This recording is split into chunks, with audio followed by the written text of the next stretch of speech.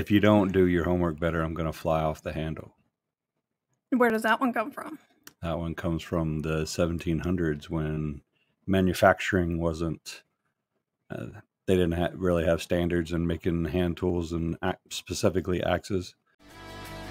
Welcome to the Blue Lounge Podcast. Come spend some time in our idiocy and feel better about yourself. Let's get started. We're live for the first time. Welcome to the Blue Lounge Podcast. Yay. Live. Yay, Twitch. Today we're going to talk about idioms. I don't Okay. know. It's not this this stupid fucker right mm-hmm. here. That's an idiom. That's an idiom. Do you know what an idiom is? It is stuff you say that has other meanings. I don't fucking know the meaning of it. Right. It's a phrase that's not to be taken literally. You could use the words in a different context and mean a completely different thing. Most of them have an origin. Not all origins are largely understood. Did you do your homework? Very little. Because you fucking don't. Because you're a bitch. Well, my preparation for the show is getting up and running my hands through my hair, making sure that I don't look like I just got out of bed, even though I did. this is for everybody to see. Dallas Stars. The 2024 How Stanley, Stanley Cup champions. Are they? How likely are they to be in the Stanley Cup? They have a really good shot. How many teams are they behind? They are number one in the West. No, they're number two in the West behind Winnipeg. They're number In one overall in the Central standings Division. of teams that will make it, what are they? they have like a 100% chance of making the playoffs.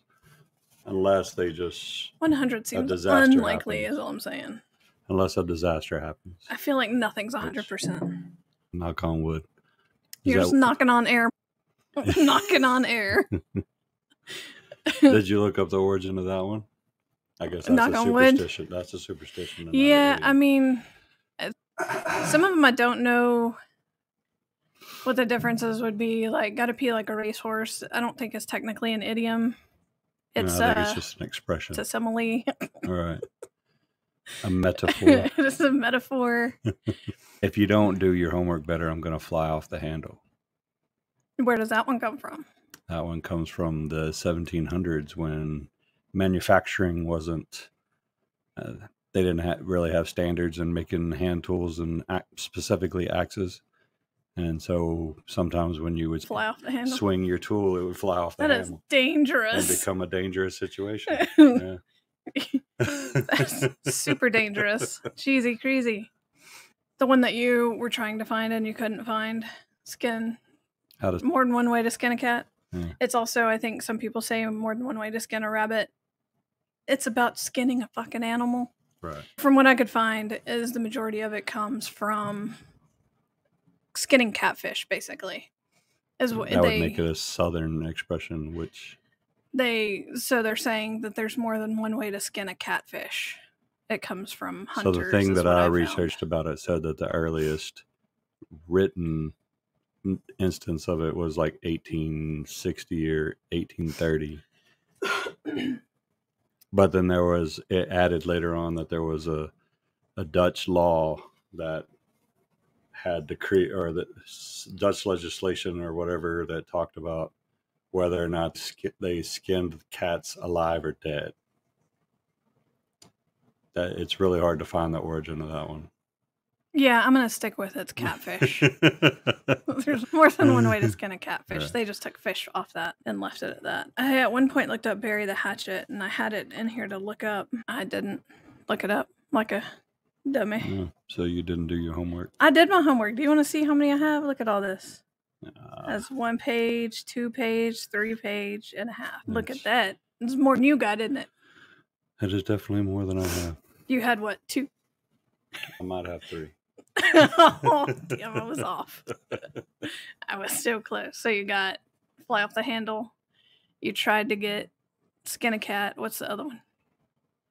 Do you know what the origin of white elephant is? No, but why's it got to be white? Because that's what it is. Why can't it be an orange elephant? So apparently it, it originated in Thailand, where I don't remember what the religion is down there, but elephants are considered sacred. And Makes sense. the king or whatever he was, king, monarch, whatever he was at the time, uh, when he was perturbed by you, he would gift you with a white elephant. Um, and because they're sacred, you can't neglect them You or refuse them. or refuse them or try to get rid of them. and so it would become a burden on the family that was gifted. It was gifted because you have to take care of them. Elephants eat a lot. They drink a lot. Wow. Yeah. Was the elephant actually white? Because I know. Uh, it was yeah, it was white. I don't know how you find so many white elephants. Maybe yeah, maybe they maybe there are a Albino- plethora in albino Taiwan. elephants. You said yeah, Taiwan? to maybe. Thailand. Oh. Maybe there's a plethora in Thailand. Who knows? I don't know that many Thai elephants, so I couldn't tell you. Yeah. I've never been to Thailand. Never been to Thailand. Messing with your old camera. What's one of yours? I've been talking this whole time. right, sure you have. Hmm. by the skin of by the skin of your teeth. There's no skin on your teeth. They it comes from apparently the Bible, the book of Job. They think it refers to basically because all of his he had like blisters and shit all over his skin. The only skin that he didn't have that was blistered was his gums. So they refer to that as the skin of your teeth. So that's where that comes from. The But what, is, but what is it? What is the skin of your teeth reference? it's Like just barely escaping something. yeah, just So barely he barely escaped having blisters barely all over get- Yeah. I mean, no, he did. I mean, he did have blisters all over his body. He Except didn't have them. gums, he so didn't he have them on his mouth. Yeah, he almost had ulcers on his face, Yeah, in his mouth, whatever, in his mouth.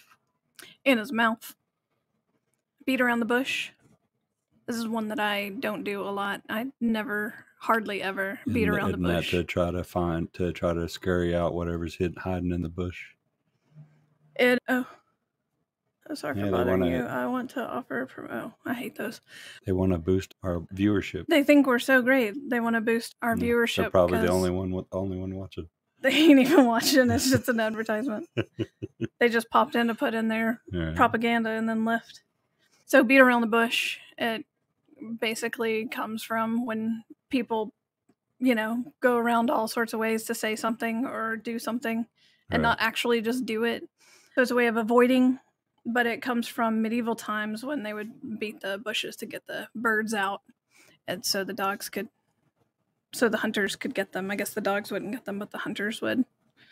So beat around the bush. What's the next one you got? The next one I got is break a leg, which, as everyone knows, most people use it as good luck. Unless you're just. Specifically as a thespian. Yeah. I'm not a thespian. yeah, especially as a thespian. To break a leg, and it count it comes from everybody wanting to say good luck. I said that Um, word to somebody that recently, thespian, and uh, they acted like they had never heard it before. Really? Yeah. I That's weird. was a- is that like was- is that like you're a musician? I'm not a musician. I not a do music- I do music. Yeah. I do music. thought it was common nomenclature. a person that what do you, what else would you call a person that is in the theater? An actor The theater. or an actress. I- a thea- I theatress. Uh, they like to separate actual actors and actresses from theater actress and act- actors and Right. actresses. So they call them thespians, theater spian. I don't know.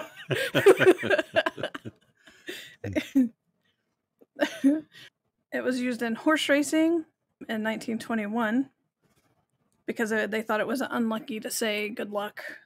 So they would say break a leg, and then they think it comes from a German translation of a Yiddish word, wishing of success. And I would not be able to pronounce the Yiddish word, so I didn't even try and write it down to know what the German translation word would be because I couldn't, I can't speak Yiddish nor German.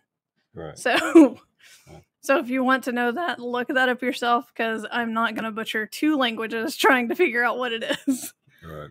So going back to thespians, right?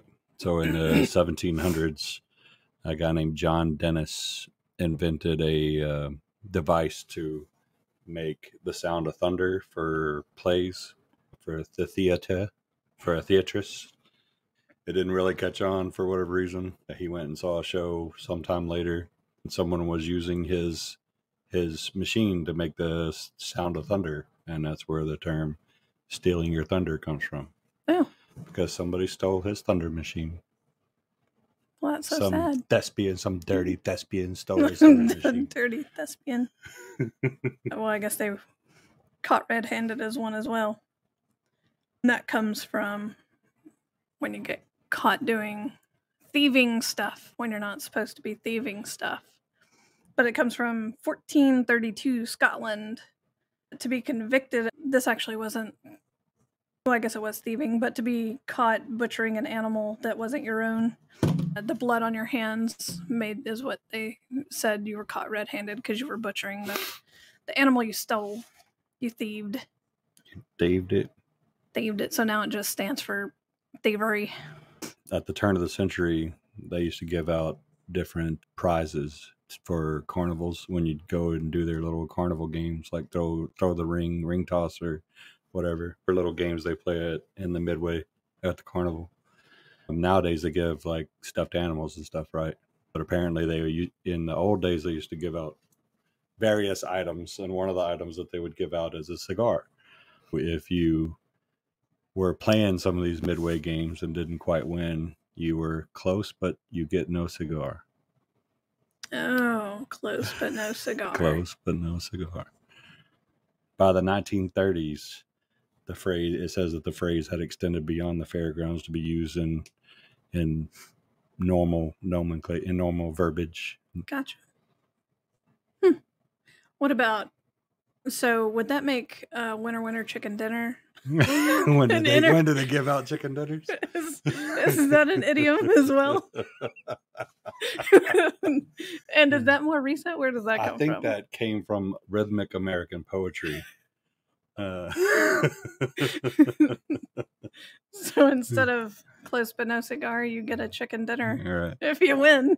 You remember in the in the eighties there was this that uh, rapper um, used to rap with NWA, but he had his own album called his he was go went by the DOC. Anyway, so he uh, would I remember listening to his album back then. Uh, the Whirlwind Pyramid. No, Only you can't remember who he is. Or his name is Terrell something. I don't remember what his full name is.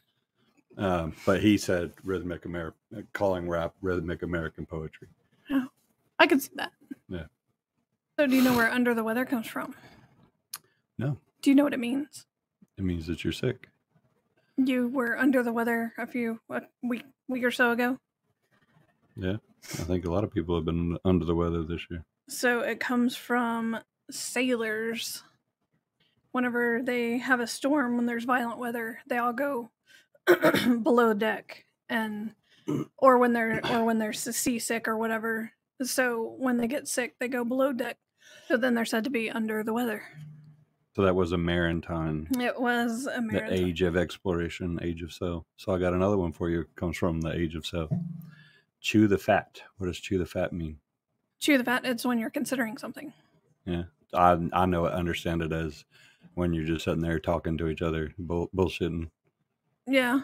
Yeah. I don't know who, which way of understanding it is correct, but the, I've I've heard it both ways. But it also comes from mar- the maritime age, the age of sail, because when you're spending months and months at sea, you know you can't get fresh food, so you have to get food that doesn't spoil. And they used to have salted fat that was stored in salt, and it, nobody really liked it. Nobody. I was about to say um, it was chewy, hard to eat, and they didn't have pork rinds back they- then. Yeah, and they bitched about it when they had to eat it because that was all the food that was left. They would go through the other food first and leave that for Because nobody wants to eat it. yeah, nobody wants to eat it. Yeah, and so the expression "chew the fat" comes. They're like, maybe by the time we get there, yeah, we won't have to eat the fat. they should uh they should have learned to do pork rinds with fat, right? They just fry Well, it. how long I don't would- know how yeah. you do pork rinds. you just deep deep fry fat or skin. So usually chicharrones is uh is the skin of the pork, is pork skin. Oh, why does it look like fat? I guess because it's fried at a high temperature and It becomes cellular like that, or I guess it Right. just gets puffy. right. There's not any room for the air to go, so it just makes puffy cells. Oh, piece of cake. Do you know where piece of cake? What does piece of cake mean? Uh, Marie Marie Antoinette. That's let them eat cake. Oh. Although apparently there's no like record of her actually saying "let them eat cake." We do have a record of let them eat cereal. Did you Eat see that the cereal for- Kellogg's? mm, That's what per- I'm talking about. Yeah, Yeah. so stupid Not only not only fuck you, but fuck that guy. Yeah. cereal. So piece of cake is when something is easy. It's going to be a piece of cake. It comes from plantation slavery events. They were mocking uh, dances and walks uh, to jab at their masters, their people. Hmm. The walks, habits, and their employers, I guess, p- employer and oh, and other townsfolk. So that's they would have a cakewalk and make fun of them. So now it's called a piece of cake. They were making fun of the crackers. Yeah, making fun of the crackers. Anything to make fun of an asshole that's keeping you doing Right. things against your will, Right. and the towns the townspeople not doing anything about it. Once on a blue moon. I thought I What- had that one. I don't think I did that one. Go ahead. What's once? in Do you know what it means? Uh, every once in a while. Let's see. Every Not once in a while. often. Yeah, so apparently it's a real astronomical phenomenon referring to the second full moon in the same month, which is a rare occurrence. I didn't know that. I didn't I thought it was trying to say that the moon was actually blue, which I've Mm. never seen a blue I've seen a hunter's moon or a blood moon, but never a blue moon. Yeah, I would like to see a blue moon. But it's the second full moon in the same calendar month. No. So not actually blue, Right. just rare. This one should be easy. Barking up the wrong tree. That's for like well, I know what it means, but I lost my train of thought. so what does it mean? So it's not really a term of aggression. It's uh, whenever somebody's accusing you or some of something or whatever, and you're barking up the wrong tree, like you're you're Yeah. So Yeah. You, have whatever you're saying, you have it wrong. you're right. You're incorrect. It comes from hunting when dogs would bark, literally bark up the wrong tree where the prey trapping was. a, and tr- trap an animal up a tree. Only they were up the wrong. They were barking up the wrong tree because the animal didn't go up that tree. Right. But in Shaun of the Dead, he says that dogs can't look up. What the hell does that even mean? I don't know. It just made me think of it because the dog would be looking up the tree, right? well, yeah, they like jump up the tree and bark Uh, up it It just made me think of Shaun of the Dead. you got red on you. Shaun of the Dead is funny. Spilled beans. What about it? Come clean. Yeah. It comes from ancient Greek voting system. They had white beans for yes and brown beans for no. So would that So they also be the origin for bean counter? I don't know, maybe. so they literally had to pour beans out to see if it was a yes or no vote. Guess that's where b- bean counter comes from. Uh, that's, I'll, I'll, I'll go with it. Yeah. It sounds like to give someone a cold shoulder. To ignore them, Yeah. not talk to them. Entomologists think that the phrase originated from medieval etiquette. After a feast, the host of England would subtly signal that the meal was over and it's time for the guest to leave by serving a cold slice of pork, mutton, or beef shoulder. Interesting. Yeah. I would have never. Why would. Yeah. What is mutton? Mutton is lamb. Oh, I think I knew that at some point. Yeah. I think I know it and then forget it, and then know it and then forget it. It's that thing. It's a vicious cycle. Butter someone up. To butter you up. That's weird. to butter someone up means to try and Talk sweetly to them. sweet sweet talk them. Trying to persuade them Hey, to do something for you. Shamo. Shimon. Shimoli. Shimon. So it comes from ancient India, where there's a custom. There was a custom. I don't know if it's still a custom. It could be. Who knows? Ancient India, where they threw balls of ghee at statues of their gods, to because to win favor, To try to gain favor. to gain favor or forgiveness. It's also a tradition in Tibet by the Tang Dynasty. They made butter sculptures for the new year for peace and happiness. So this one doesn't really say where it comes from, but blood is thicker than water. It's part of an actual phrase that Yeah, the whole uh, the whole phrase, everybody that actually does not mean what everybody thinks it means. but it doesn't say where it actually comes from. It says the full maxim is the blood of the covenant is thicker than the water of the womb, referring to. So we we take it as the blood is thicker than water. That f- Yeah. family is comes before everything. Yeah, family is your all Right. over friends. But the actual expression is the blood. means the opposite. Your friends Or or, your the people are- you choose to be around are Right. more so are more to you than your family. Cat got your tongue. I've been talking this whole time. Cat Got Your Tongue has possibly two origins.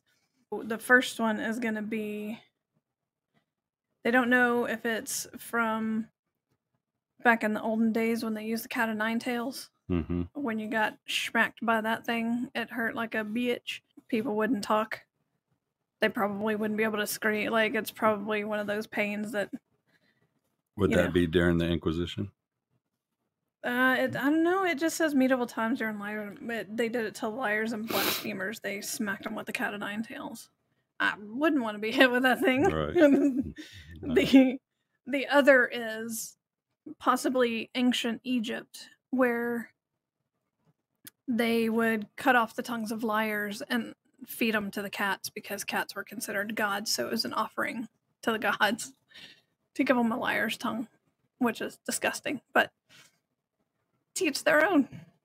Hmm. I don't think I'd feed Who my was cat a the in in in ancient Egypt? Who was the cat god? Because Horus was Um, a hawk. It was, Anubis was a is Anubis a wolf? I think it's A jackal. It's right on the tip of my tongue. It might be Bastet. Yeah, I don't remember. I don't either. Could be. Could be Bastet. One of my one of my favorite. I always named my creatures in games. I would name them Bast or you know other other names like that. Turn a blind eye. Is that anything? Is that similar to turn a blind cheek or turn the other cheek? Turn the other cheek. Well, turn the other cheek is supposed to be in the Bible from Jesus. Was that if you're somebody strikes you, well, you were supposed to turn the other cheek. In other words, not retaliate. But so to turn a blind eye is very similar. Yeah. No. I mean, turn a blind eye would be to me, yeah, You- to ignore it. You to yeah, ignore it, you're not gonna. Right. So that comes from the Battle of Copenhagen when Admiral uh, Sir Hyde Parker signaled to Admiral Horatio Nelson to stop attacking the Danish ships. Uh, Nelson raised the scope to his blind eye so he didn't see the signal, and he continued to attack the ships. Parker was disgraced. So Parker was disgraced, and the admiral that turned the blind eye became commander in chief. so that's where that comes from. It makes me like that saying a little more.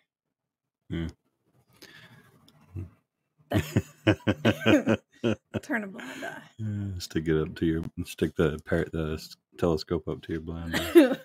That's pretty funny. that is good. I like it. Uh, did we already do what goes around comes around? You did not do what goes around comes around. Do you have another one? I have. I can't do. You can't do something to save your life. You know what it means. That I can't get. I can't do this suck? to save my life or whatever. yeah. That. Well. It, yeah. To me, it's just you're. I liken it to r- having a good run of bad luck. Like, yeah, I just can't get it to go my way. yeah. Apparently, in gaming it happens whenever we just die incessantly Right. and can't get to where we're going So the expression that supposedly was first used in 1884 in Kelly and O'Kelly's writing, if it was to save my life and theirs, I can't get up in small talk for the rector and his curate. what are who are they right. The Kelly and O'Kelly's writing. so what goes around comes around is from what i found nobody actually knows where it comes from they think it started in a prison in the 70s as an alternative to reap what you sow because those are both the same thing anyway Right. so who knows What you reap what you sow What about Mad as a Hatter? That comes from Alice in Wonderland. I'm I'm betting. it actually has origins in truth and like actual so back when they were making the when hats were handmade right which some Yeah. of them yeah The so good they would are. use mercury to treat or to treat the fabric or the leather, whatever they're making the hat out of. And they didn't understand that mercury was poisonous and hatters would become madder and madder over time because they were getting mercury poisoning from Hmm. using mercury all the time to make people's hats. And so then you get the expression mad as a hatter. So I saw a thing the other day because whenever we first decided we were going to do this, right? I'd mentioned that rule of thumb, everybody knows where that comes from. And that you can't beat, beat your wife with a stick wider than your thumb. than her thumb or your thumb, somebody's thumb. Yeah. But apparently that's not where it comes from.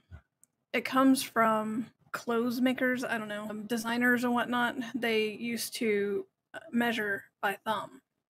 And that was their rule of thumb. Really? Yeah. Had no idea. I thought it was Hmm. Steeped in domestic violence, but it is not.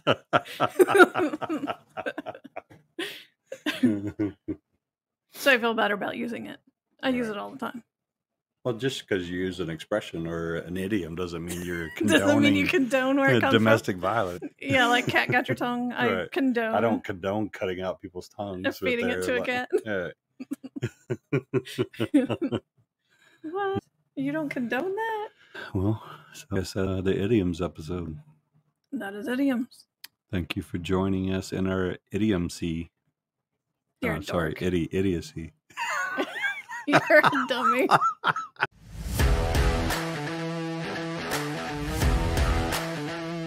We're Phaleon and Binks of the Blue Lounge Podcast. That's our show, and thank you for spending time with us. Don't forget to like and subscribe. Follow us on TikTok, Facebook, Instagram, and Twitter. Until next time.